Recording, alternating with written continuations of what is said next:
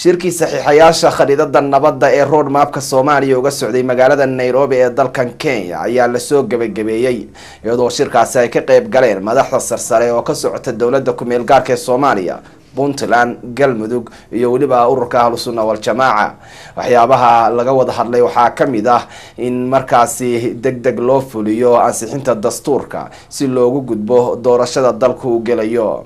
Warbixinta waxaa noo haya ibraahim maxamuud jaamac shirkan kooxaha seexayaasha ruur maabka ugu soo gabagaboobay magaalada nairobi ayaa waxaa ka soo baxay qodobo ay ka mid yihiin brotokoolka dhammaystirka kumeelgaarnimada seexayaashu waxa ay isla garteen in la sameeyo brotokoolka guddiga farsamo ee soo xulidda xubnaha baarlamaanka.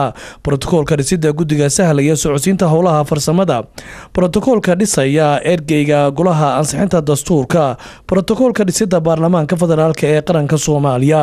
Labo qabyo qoraalka dastuurka. Seexayaasha ayaa si wadajira u saxeixay nuqulkii ugu dambeeyey qabiyo qoraalka dastuurka meelgaarka soomaaliya oo ay soo dhammaystireen.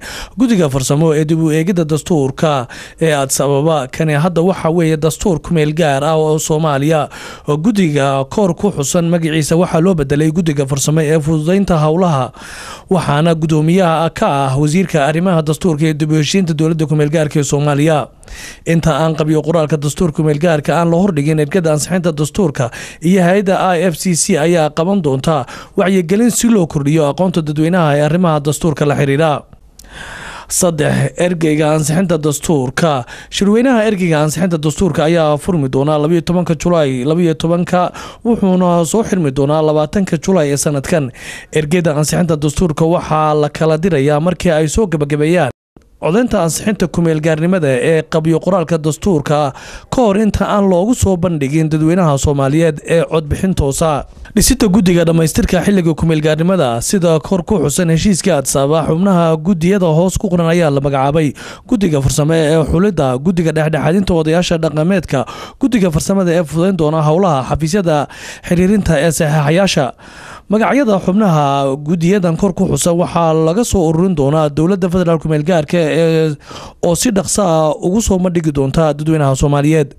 Shan wakhtiga ku xidhan xilliga kumeelgaarnimada saaxayaasha ayaa si wadajira uga helan inay ilaaliyaan wakhtiga madambaysta ah ee lagu soo go'aamiyey heshiiska adsaababa waxayna si wadajir ah u go'aansadeen in la dhammaystiro xilliga kumeelgaarnimada iyo in la hirgeliyo hanaanka siyaasadeed ee cusub ee waafaqsan dastuurka kumeelgaarka soomaaliya oo ay u codeeyeen ergada ansixinta dastuurka. Go'aanada adisaba lagu gaaray iyo kuwa halkan lagu gaaray waxba kuma kala duwan adisaba markii go'aanada lagu gaaray markiiba waxaa lagu socday shirkii ka dhacaya turkiga. Kadib markii la soo laabtana waxaa lagu mashquula howlo kale badan. Laakiin haddana waxyaabihii la go'aamiyey shaqadooda waa socotay. Shirkaana waxaa fursad noo siiyey in laga wada hadlo sidii go'aanadii adisababa lagu gaaray loo fuli lahaa iyo kuwii ka dhinaa sidii aragti midaysan looga gaari lahaa. Waktiga harayna waa ku filan yahay shaqadaas la qabto. Aada u mahadsan waxaad noqonaysaa dowlad iska tabcaanahoo la masruufo oo nafta lagu celiyo. Marka muddaa nafta laku celinayey annaga waxaan leenahay hadda inaan ka baxnaan rabnaa life supportiga naftana laku celinayo dowladtaaba aan noqono gob baan nahay dowlad baan ahaan jirnay xoog baan lahayn sharaf baan lahayn karaamaan lahayn qarannimaan lahayn ayada baan dib u soo lalaabanaynaa labaatan sana nagu qaadatay. Marka haddana guusha waa ay dhowdahay. Meel fiican bay maraysaa haddii laha yihahdo the Nairobi Agreement, which are steps on the roadmap to end the transition on the 20th of August. This stage in Nairobi is probably the most critical because it ushers in the accomplishment of one of the major steps to end the transition. And that is the approval of a draft constitution which was authorized by the Mbagati Agreement of 2004.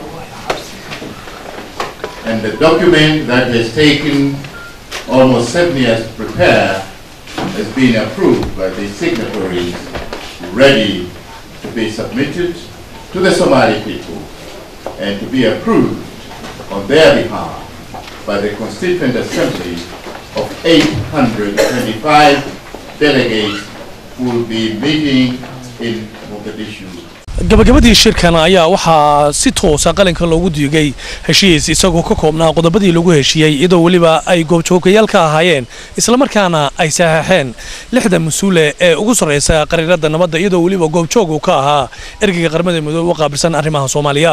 Heshiiskan ayaa noqon doonaa heshiis si toosa ay u dhaqangeliyaan kooxaha iyagu saxeexayaasha qariirada nabadda si looga gudbo xilliga kumeelgaarnimada ibraahim maxamuud jaamac somaali janal nairobi